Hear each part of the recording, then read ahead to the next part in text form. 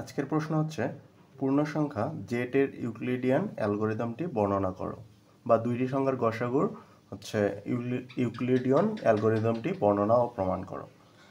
তো এই প্রমাণটা আজকে আমরা দেখাবো। এটি খুবই গুরুত্বপূর্ণ। আপনারা যারা অনার্স ফোর্থ ইয়ারে পড়েন, তাদের কিন্তু এটা বিচ্ছিন্ন গণিত অর্থাৎ ডিসক্রিট ম্যাথমেটিক্স এবং থিওরি অফ নাম্বারস সংখ্যা তত্ত্বের জন্য এই থিওরিটি খুবই গুরুত্বপূর্ণ। তো প্রথমেই আমরা বর্ণনা লিখব যে ধরি এ ও বি দুইটি পূর্ণ সংখ্যা। পূর্ণ সংখ্যা যেখানে এ এবং বি কে লেখা যায় বি বাই এ। তো আবার ধরে নেব যে ধরি a equal to r not এবং b equal to r one এই এ এবং বি সমান আর নট আর অন ধরে নিলাম। এবং নিম্নে কিছু ভাগ প্রক্রিয়া আলোচনা করব, সেটাই লিখব এখানে নিম্নের সম্পর্ক দ্বারা। সম্পর্ক দ্বারা বর্ণিত এক সেট অবশিষ্ট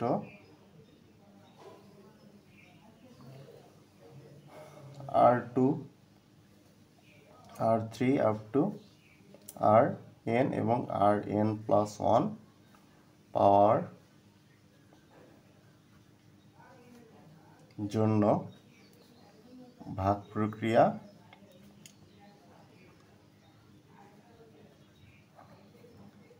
পুনঃ পুনঃ পুনঃ পুনঃ মানে কি? বারবার।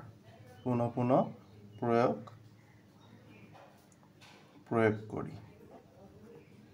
এখানে লক্ষ্য করুন, নিম্নের সম্পর্ক, এখানে কিছু সম্পর্ক লিখব। সেই সম্পর্ক দ্বারা বর্ণিত এক সেট অবশিষ্ট r two r three up to r n এবং আর এন প্লাস ওয়ান এই মানগুলো আমরা পাবো। যতক্ষণ পাবো না, ততক্ষণ ভাগ প্রক্রিয়ার হচ্ছে, এটা বারবার করতেই থাকব ভাগ প্রক্রিয়া অনুসারে।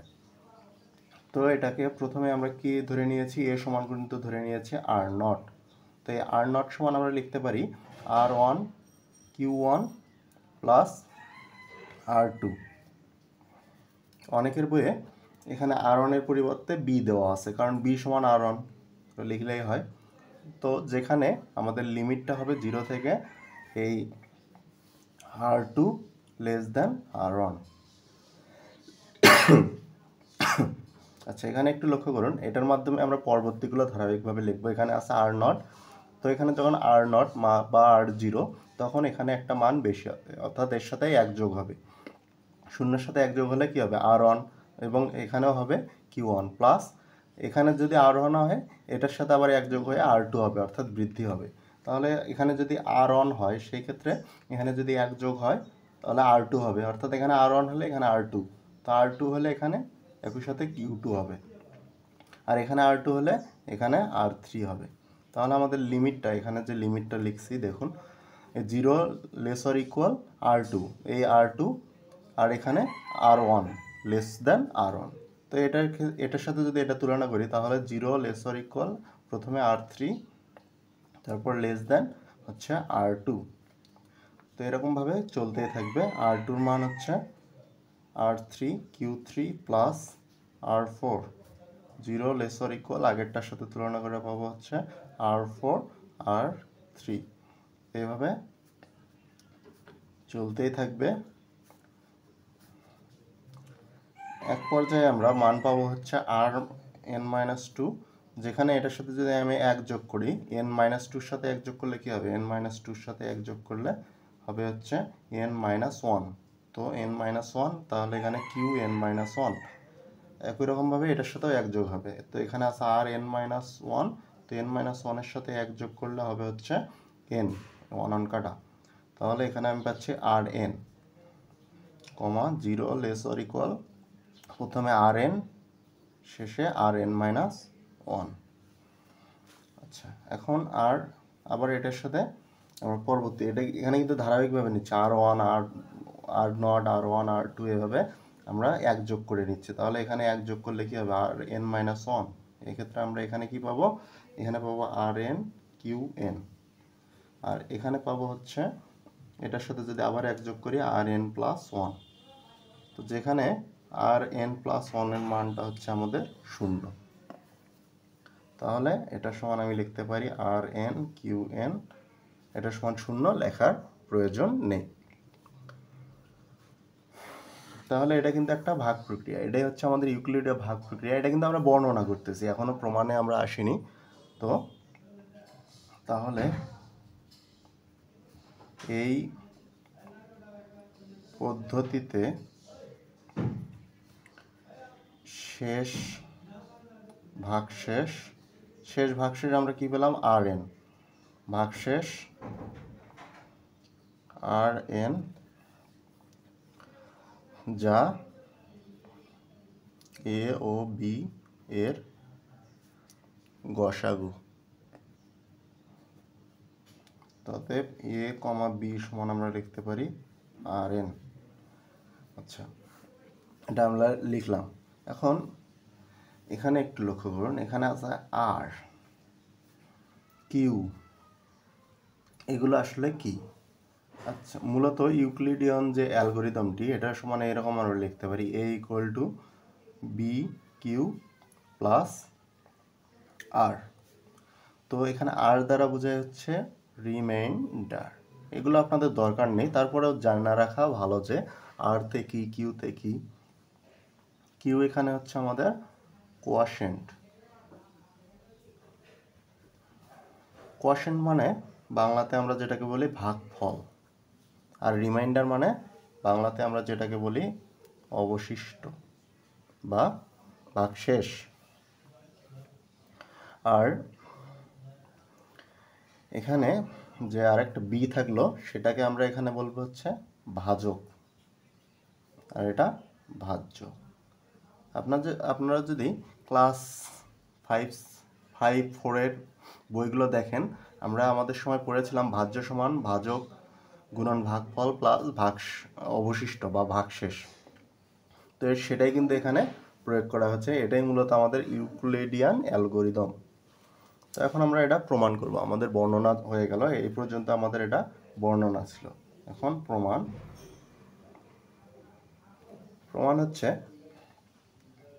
স্পষ্ট তো যে আর নট বড় আর ওয়ানের থেকে, আবার আর ওয়ান বড় আর টু থেকে, এভাবে আর এন মাইনাস টু বড় হচ্ছে কার থেকে? আর এন মাইনাস ওয়ানের থেকে এবং এটা বড় আর এন এর থেকে। এটা আমরা কোথা থেকে লিখলাম? এখান থেকে লিখলাম। তো যেহেতু প্রত্যেক প্রত্যেক r i, r not, r one, r two, up to n minus one, n minus two, n পর্যন্ত এটাকে আমরা ধরে নিলাম আর আই বিলংস টু যেটা হচ্ছে একটা জেড মানে পূর্ণ সংখ্যা। এবং জিরো এবং আর নট এর মধ্যে সসীম সংখ্যক পূর্ণ সংখ্যা বিদ্যমান। জিরো এবং আর নটের মধ্যে হচ্ছে নির্দিষ্ট সংখ্যা বিদ্যমান, সসীম সংখ্যক। তো তাহলে আমরা লিখতে পারি, ফলে আর আই এর সংখ্যা অসীম হতে আচ্ছা অসীম হতে পারবে না।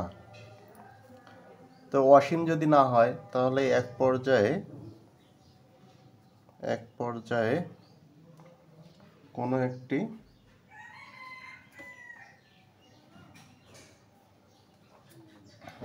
আর আই আর আই এর মান হচ্ছে কে, কোনো একটি সংখ্যা হচ্ছে জিরো হয়ে যাবে। তো এই পর্যন্ত আশা করি আপনারা বুঝতে পেরেছেন।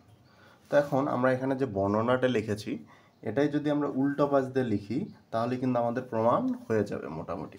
আচ্ছা এখন দেখুন কীভাবে উল্টো পাশ দিয়ে, দেখুন এখানে, আমরা প্রথমেই ধরে নেব যে ধরি, এখানে যে ছিল r n plus one equal to zero সেটাই আমরা এখানে ধরে নেব n plus one equal to zero তাহলে আমরা লিখতে পারি r n minus one r n minus one এটা সমান আমরা কি লিখতে পারি। এর সাথে এক যোগ হবে, এক যোগ হয়ে পরের মানটা হবে, অর্থাৎ এক করে বৃদ্ধি পাবে। তাহলে এক যোগ হলে আর এন এখানে কিউ এন প্লাস এখানে তো আর এন প্লাস ওয়ান হবে। তো আর এন প্লাস ওয়ানের মান জিরো আমাদের লেখার দরকার নেই। আর এটাকে আমরা লিখতে পারি আর এন আর এন হচ্ছে আমাদের এখানে সাধারণ একটা ভাজক, যেটা এটা দ্বারা বিভাজ্য। যেটা হচ্ছে এটাকে এটাকে, এটা বিভাজ্য হয়।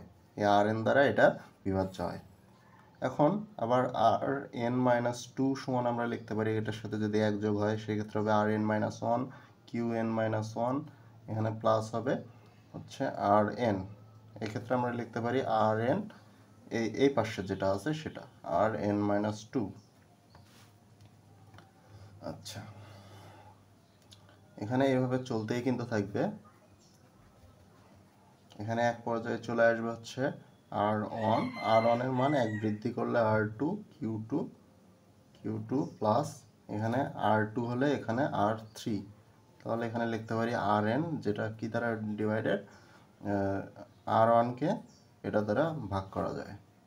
হ্যাঁ আবার আর নট এটা সমান লিখতে পারি r one q one plus r এখানে ওয়ান হলে এখানে টু তাহলে এখানে আর এন দ্বারা ভাগ করা যায় আর নটকে হুম। এখন দেখুন, প্রত্যেক ক্ষেত্রেই আর এন তো আর এন হচ্ছে এখানে একটা সাধারণ ভাজক। তো আমরা এখানে বাংলায় লিখব যে অতএব এ ইকুয়াল টু আমরা আর নট কি জানি? A equal to r not প্রথমে কিন্তু ধরে নিয়েছিলাম বর্ণনার শুরুতেই। এবং b equal to r one এর সাধারণ